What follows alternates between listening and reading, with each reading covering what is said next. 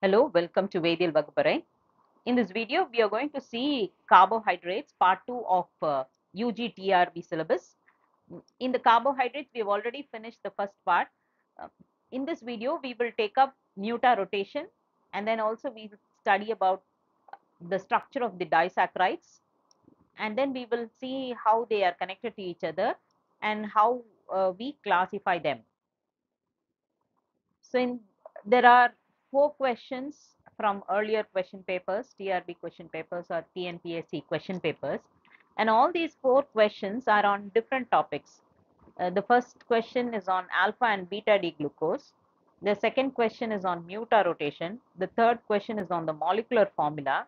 The fourth question is on um, reducing and non-reducing nature of the carbohydrates. So all these questions, we will answer them at the end of this video presentation. First, we will learn the basics to understand what these terms are, and then we will go into the questions. So first and foremost, in the previous video, we saw only the open chain structure of carbohydrates. Now in this video, we are going to see uh, the carbohydrates are not only having an open chain, but they are also having a cyclic structure.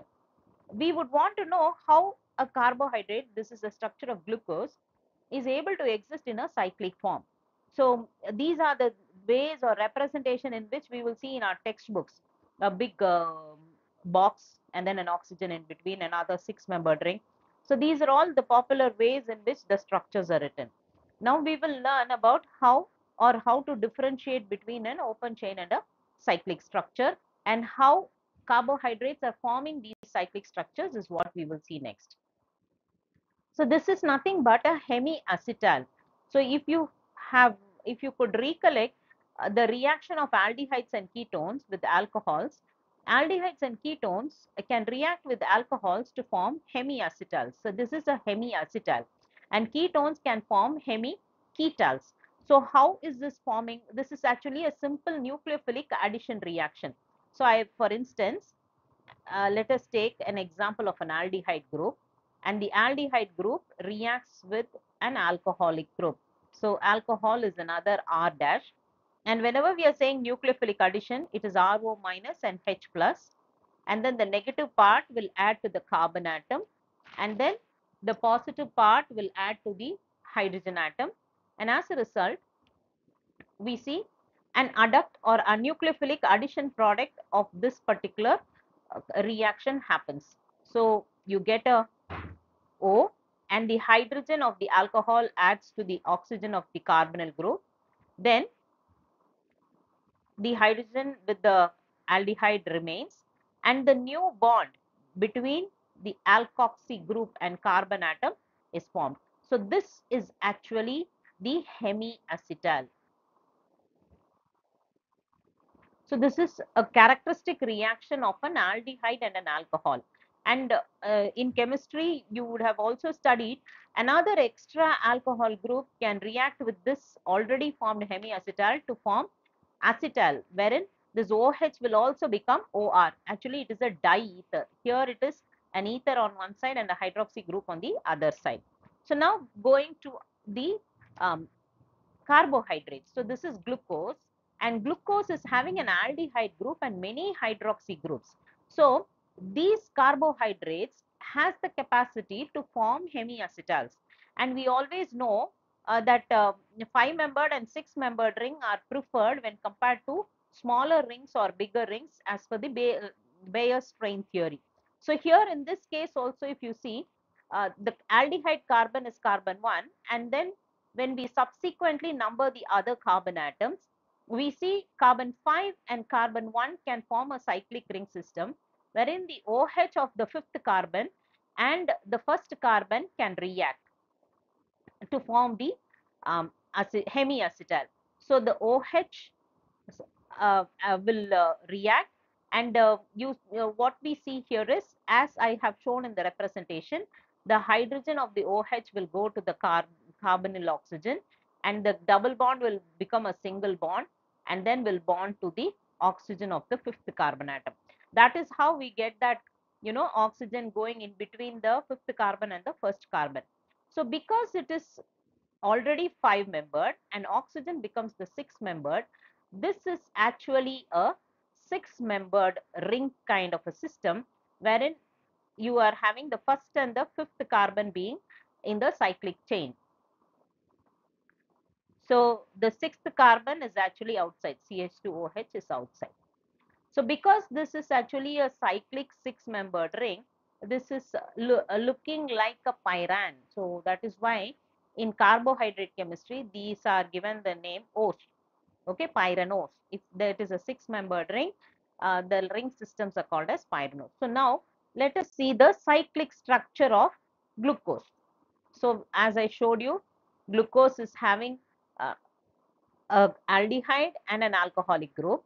So what could happen is, as I told you, this fifth carbon had the OH and this oxygen can bond from either onto the right or to the left.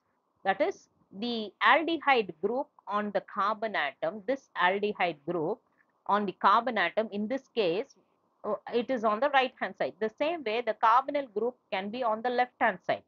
So if the carbonyl is on the left hand side, then you will land up getting an OH on the left hand side. If, because it is on the right hand side, then you get a aldehyde becoming an OH on the right hand side. In other words, uh, the aldehyde carbon is becoming a hydroxyl carbon and a new carbon oxygen bond is formed. So the carbon 1, which was earlier a achiral carbon, becomes a chiral center. So we see this is having four different groups attached to it. So this is a very important thing because of this kind of chemistry that is happening to a carbohydrate, glucose which was having a straight chain is becoming cyclic because of hemiacetal formation. But that cyclic glucose is not one glucose, but there are two different glucoses. So, so far what we have been saying is D-glucose is not one glucose. It is actually alpha D-glucose or beta D-glucose because both of them are two different compounds. So, their chemistries are different. The, the way their, their structures are there are different. So, these two glucoses are two different glucose. So, we see glucose results in a six membered ring and this six membered ring is represented like this and you will be wondering how these OH are written. So it is a very simple way of doing it. We will see in the next slides. So now let us see the terminologies and structures that are used to represent carbohydrates. So this is the open chain structure and this is also called as Fischer's product projection because Emil Fischer was the one who actually uh, demonstrated the use of this particular structure, open chain structure. And in open chain structure itself or in Fischer's projection itself, we put the hemiacetal and that is how we saw in the first slide. But actually, uh, these are the two other popular representations of carbohydrates. One is the Haworth's projection, the other one is the chair conformer. We all must know whenever there is a six membered ring system, it is actually a chair cyclohexane because I told you before itself that uh, carbohydrates are aliphatic compounds. So because it is an aliphatic six membered ring, definitely it is a cyclohexane kind of a ring and that is why um, it exists in a chair conformer. So this chair conformer is the stable conformer. And then we have groups above and below the chain. So Haworth gave a simple representation of putting a six-membered ring like a hexagon, but actually this is the real structure or actual structure of the glucose. But then Haworth structure can be used uh, interchangeably to understand the chemistry. So if an Haworth structure is given, how do I recognize the glucose moiety? Is it alpha glucose or is it beta glucose? So always remember in a Haworth's representation, OH is always written on the top. So either you put the OH on top or at the bottom. So when we draw the six-membered representation of Haworth structure, the oxygen is put at the back and then the newly formed chiral carbon, the newly formed chiral carbon is written on the right. So this is the newly formed. So the OH can be written either on top like this or I write another structure, again Haworth's representation and the OH can be written at the bottom. So all other representations are uh, at all other carbons, there is no change. It's going to be the same. So the only change is going to be at this chiral center. So either the OH will be down or the OH will be top. So if the OH is on top, then we say it is a beta glucose. If the OH is written down, we write it is alpha glucose. And always remember, in case of glucose molecule, all the OH are, you know, written opposite to each other. So there are two bonds on all carbons and leaving out the first carbon, if you start from the second carbon, the OHs are alternatively written. That is all. This is how we write the structure. So, in case of Haworth's representation, we see the CH2 and OH on the same direction. If it, then it is beta. And in case of alpha, again, there is no other change. It all other groups are going to be the same way. So down, up, down, and up. So all other positions are going to be the same. Only the alpha carbon is going to be different or the carbon where the new bond is formed is going to be different. So if it is having the OH on the top, then it is called as beta. If it is having the OH at the bottom, then it is called as alpha glucose. But then we know six membered ring chair conformer is the preferred conformer. So in the chaired conformer, where whenever we have molecules written or cyclohexane ring written in the chair conformer, we know there are two different bonds.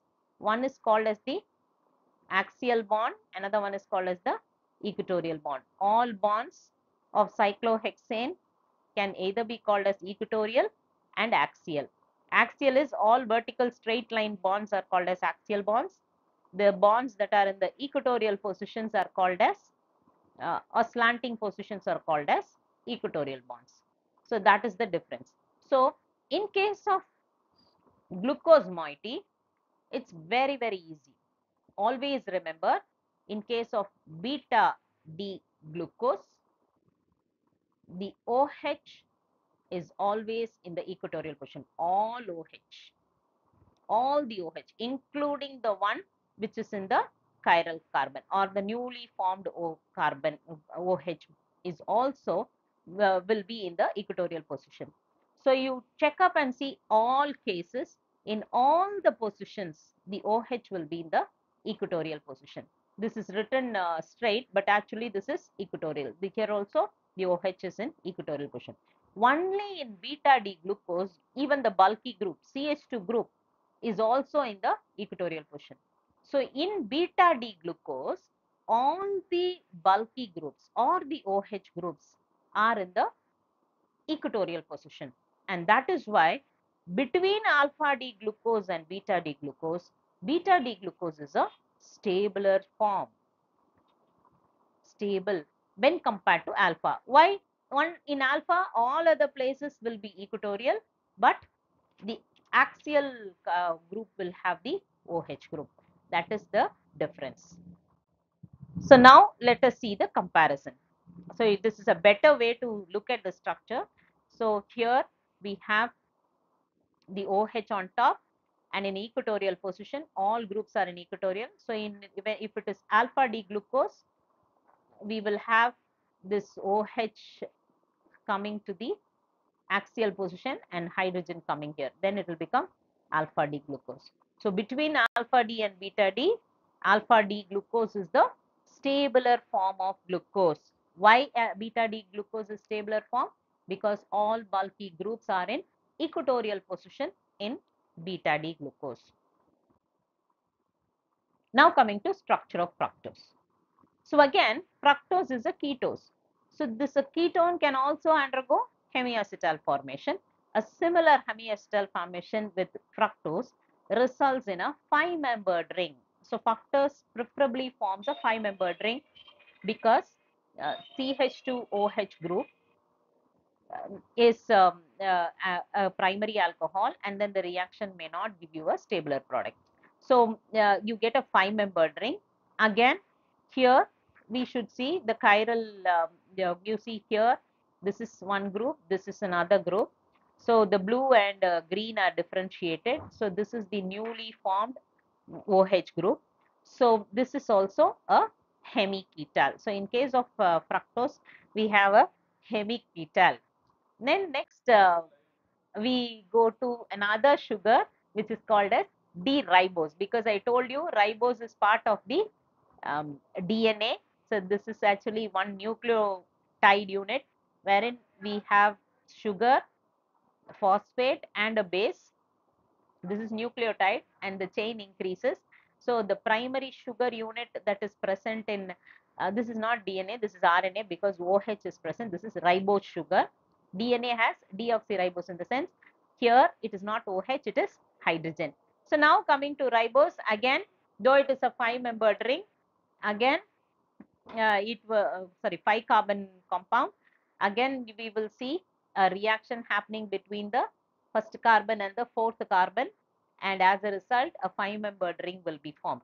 So in in this case also, so all sugars, okay, they will either form five membered ring or six membered ring to form hemiacetals. That is an important thing. So here also we see ribose sugar is forming a hemiacetal. So next we will see the names or relationship. What are they called? How do I relate to them? So by means of stereochemistry, we know very well that a newly formed chiral carbon results in another stereoisomer. So this two isomers, alpha D glucose and beta D glucose, are called as anomers. And the carbon is called as the anomeric carbon. So this carbon where a newly chiral formed uh, sorry newly newly formed chiral center is present. It is called as a anomeric carbon. And uh, because it is a six membered ring we use a notation pyranose so these two carbohydrates are called as anomers. So now coming to disaccharides. So again to differentiate between carbohydrates the color differences are there. So this is a six membered ring. You see this is glucose and uh, this is fr- fructose. And uh, so this is an example of a disaccharide. And in this disaccharide you know uh, glucose oh is down okay? The oh was down. So this is a alpha glucose unit. And then we have uh, fructose also. Fructose also you know pretty well it is an alpha um, it is an alpha glucose unit so um, this sucrose is joined together at a, at this particular position to form a disaccharide so sucrose is a disaccharide containing glucose and fructose unit now the next is maltose maltose is a combination of two glucose units again you see here OH is down. Here also the OH is down. So maltose is made of two alpha D glucose units. So this is one. Uh, so when uh, this is one glucose unit, this is another glucose unit. So the bond between the first. So the the numbering is this is the first carbon.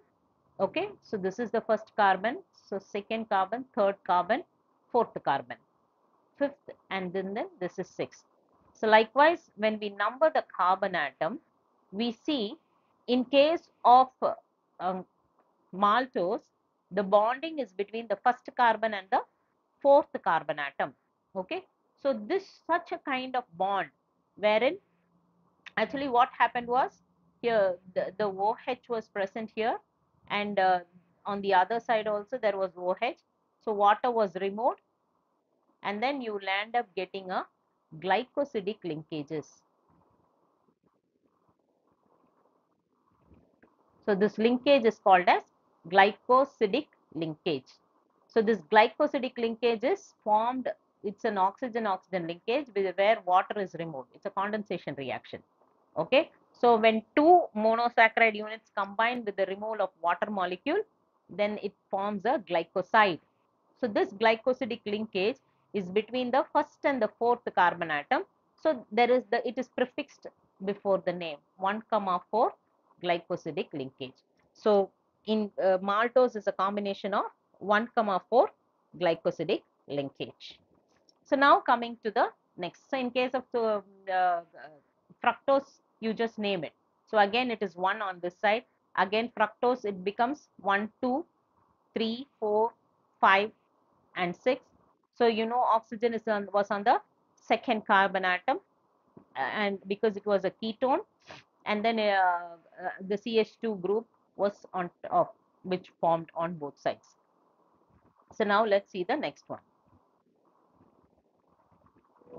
In case of lactose, it is a combination of galactose and glucose. So this is uh, the what is in orange is galactose. So what is different between galactose and glucose? Galactose and glucose are epimers. If you recollect, they are epimers. So what is the epi, uh, what epimers are they? Are they C2 epimers or C4 epimers? So they, those epimers, when they are forming a cyclic system, uh, again you see this is the first carbon and again here the glucose is here, glucose is 1, 2, 3 and 4. This is galactose 2, 3, 4, 5. So when you see the structure of glucose, so uh, on carbon 2, the configuration is the same. On carbon 3, the carbon configuration is same. So carbon 4, only we see the configuration is different for galactose and glucose. So it is a C4 epimer and the OH is on top for galactose. In case of glucose, the OH is at the bottom. See here, the OH, the fourth OH is at the bottom. So the, but then galactose also will form hemiacetal and this hemiacetal resulted in the OH on top. In a sense, it's a beta galactose. So the linkage is between the first carbon of galactose and the fourth carbon of glucose. So this is also a 1 comma 4 glycosidic linkage.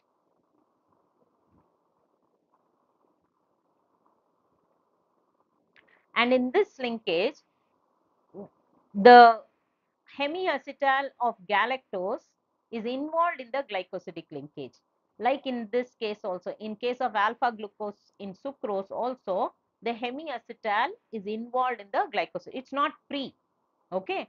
Whereas in case of uh, maltose, one of the glucose is having its hemiacetal lock, whereas the other glucose has its hemiacetal open. So this anomeric carbon, this is the anomeric carbon 1 is the anomeric carbon.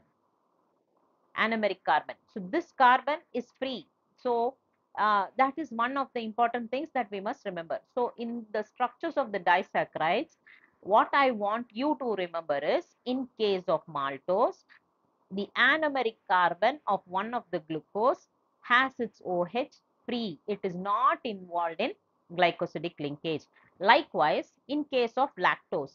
So in we see lactose also, the OH of lactose, the anomeric OH of lactose is also non, not involved in the carbon uh, not involved in glycosidic linkage. Only galactose and uh, you know anomeric carbon so OH is involved in glycosidic linkage. Okay, so this is something which we must remember. Between the two sugar units, one of them have their glyc um, sorry have their hemiacetal carbon or hemiacetal group free. It is not involved in glycosidic linkage. Okay. Whereas in case of sucrose, it is actually forming a bond here. Okay. So fructose is a newly formed OH group here. So that is locked in glycosidic linkage.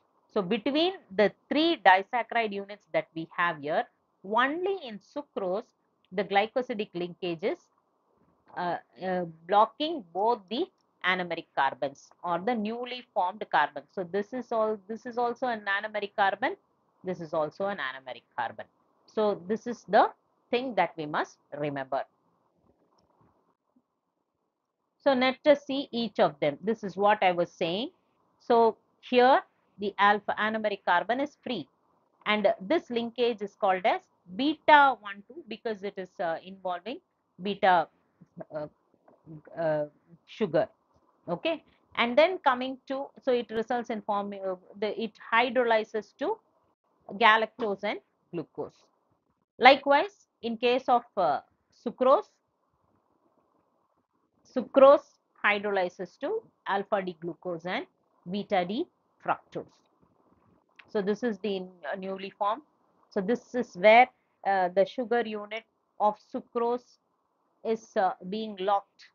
So both the asterisks are newly formed hemiacetals or ketal. Here it is ketal, here it is hemiacetal. So in both these places, the newly formed OHs were there and they reacted and formed water. So this linkage between uh, glucose and fructose results in sucrose where the newly formed hemiacetal is not free. It is locked in the glycosidic linkage. Please remember this. This is the most important property of sucrose. So what is most important property of sucrose? That the newly formed anomeric carbons have their OH groups locked in glycosidic linkage. And because it is locked in glycosidic linkage, it cannot undergo hydro. It cannot break down that easily or it, uh, it cannot open or close. So we'll go to understanding that later. So again here, gentiobiose is another uh, disaccharide which is formed when uh, glucose is burned or when starch is hydrolyzed. Uh, it is a bitter sugar and this sugar also is a disaccharide but what we must see here is it is the reaction between uh, the OH here and the CH2OH. Okay, so the reaction is happening here. Okay, so this is between the first carbon and the sixth carbon because we know when we start numbering glucose, we know we number from the first aldehydic carbon. So because this linkage, glycosidic linkage is between the first carbon and the sixth carbon, this is called as beta 1 comma 6 glycosidic linkage because these linkages are also popular in polysaccharides or branching in polysaccharides. Um, hydrolysis of polysaccharides results in this disaccharide too. So this disaccharide is popularly uh, known uh, in hydrolysis of starch. But if we are seeing the anomeric carbon, we see as in case of lactose, as in case of maltose, one of the glucose units is not having its OH group disturbed. It is not involved in any reaction. It is free. So this is also an important point to remember. So now let's go to the next. So what is this freeness of OH leading to? We have seen that open chain glucose forms can form alpha D glucose and beta D glucose. This alpha D glucose is a different molecule. Beta D glucose is also a different molecule. When alpha D glucose is dissolved in water, it was found that its specific rotation changed. When I'm talking about specific rotation, we all know this all these carbohydrates are optically active in the sense they will rotate the plane polarized light. They have their characteristic property to rotate plane polarized light. So now why are we saying alpha D glucose and beta D glucose? Because each of them have their own characteristic specific rotation. So what was seen was when I when someone dissolved alpha D glucose, it slowly equilibrated to the specific rotation of open chain glucose. Similarly, when beta D glucose was taken and when it was dissolved in water, it slowly equilibrated to open chain. In the sense, the specific rotation changed from beta D glucose's value to the open chain value or the equilibrium value. So this phenomenon of a carbohydrate to open up its hemiacetal. So what is happening here? This hemiacetal is opening. Earlier what we said, this is forming an hemiacetal. Now what we are saying, when water is added, this chain is opening up and becomes an open chain. So this property of a carbohydrate is very, very, very important. Why I say very, very important is many of the chemical properties of carbohydrates are dependent on this chemistry. So because this hemiacetal can open up, this carbohydrates, now when they are in the cyclic system, they all look like alcohols. But they can also undergo reactions wherein an aldehyde can be oxidized to an acid. So this property of an aldehyde being oxidized to an acid is possible because these ring structure of carbohydrates can slowly open when they are dissolved in water. So they are not, uh, such, they just open up. The ring chain, ring opens up to a straight chain and the straight chain undergoes reaction. So this forms the basis for reduction reaction or uh, oxidizing oxidation reaction. We would have heard about Tollens reagents, Fehling reagent. So Tollens and Fehling's reagents are uh, are characteristic reactions to find whether a carbohydrate is a reducing sugar or a non-reducing sugar. So both these reagents are able to undergo reaction only because of this characteristic property of carbohydrate. So what is mutarotation? Mutarotation is nothing but the ability of the cyclic carbohydrate to equilibrate to its open chain structure is called as mutarotation. So now let us see the mutarotation in glucose. So as I told you, alpha D glucose and beta D glucose, both of them will equilibrate to the open chain. So the specific rotation of open chain glucose is 52 plus 52.7. Okay. So alpha D is 112. So when it is dissolved in water, it will slowly become 52.7. Likewise, beta D glucose when dissolved in water will slowly change from 18.7 to 15.2.7. So at equilibrium, as I told you already, beta D glucose is the stabler form of glucose. So at equilibrium, the majority of the glucose unit is in the beta form. That is why it is 63%, whereas alpha is 37%. So I have put the uh, chair conformer also so that we can connect between the two uh, Haworth structure, Fischer structures and uh, the chair conformation. So as I told you, reducing sugars versus non-reducing sugars.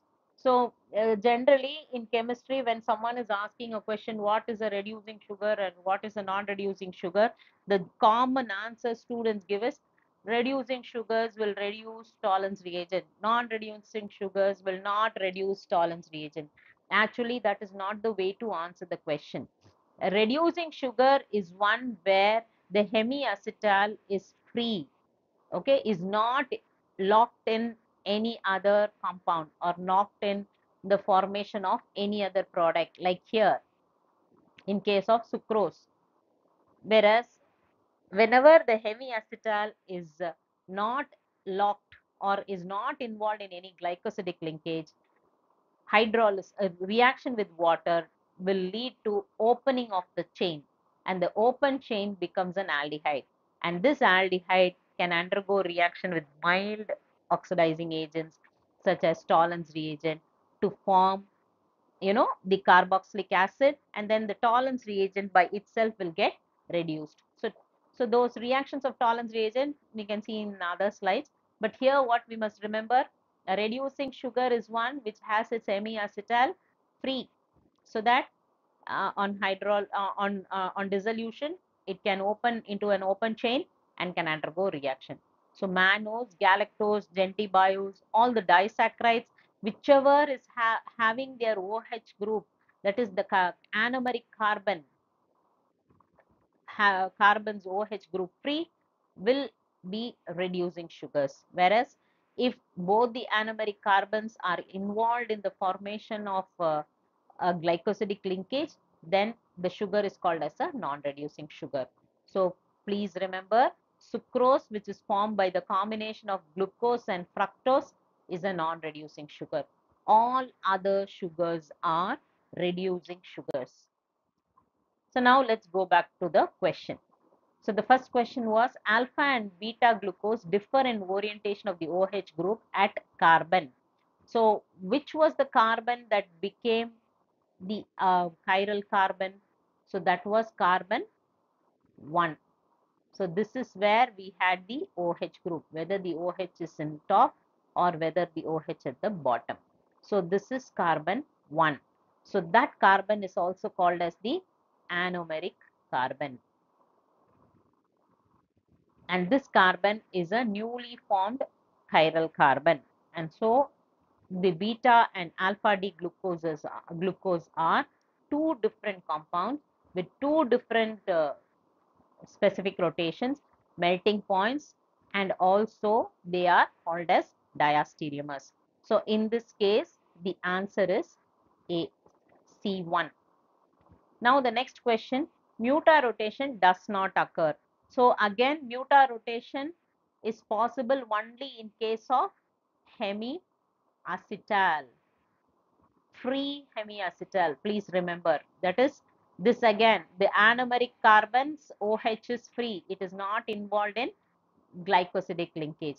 So all the monosaccharides, all the monosaccharides are having the capacity to mutarotate because they can uh, equilibrate between the ring structure and the cyclic structure. So in case of disaccharides, only sucrose cannot mutarotate. Why sucrose cannot mutarotate? Because both the anomeric carbons are the ones which are involved in the glycosidic linkage. And so sucrose is a non-reducing sugar. It cannot break that bond. It cannot equilibrate to the open chain. So that is why sucrose cannot undergo mutarotation. And then coming to general formula of disaccharides. So as I told you, it's a condensation reaction. So one molecule of water alone is removed. So we all know from uh, the formula of carbohydrates, the general formula is CnH2O n times. So if we are saying one water molecule is removed, it is just the case where n minus 1 is right. That is all. It's quite straightforward. Okay, so a disaccharide has how many glycosidic linkage? It has one glycosidic linkage. So whether it is uh, gentiobiose or it is sucrose or lactose or maltose, there will be only one glycosidic linkage or only one water molecule would have been removed so that is why we have the general formula as CnH2O n minus 1. Now the next final question, which among the following is non-reducing? So as I told you in the, in the previous uh, explanation itself, all monosaccharides, if they are having their hemiacetal free, that is, if they can equilibrate between open chain and cyclic ring system, if they exist in aldehyde form, then they have the property to form reducing sugars. Okay? So here fructose is also given because it can equilibrate to glucose. So it will uh, under conditions strong conditions it can undergo also reaction with reagent that is why it is put here. So the non-reducing sugar in this list is sucrose. So the answer is sucrose so i hope you all understood. Thank you